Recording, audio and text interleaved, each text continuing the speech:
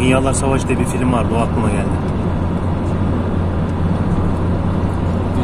Camda görülüyor. Tom Cruise'un oynadığı film.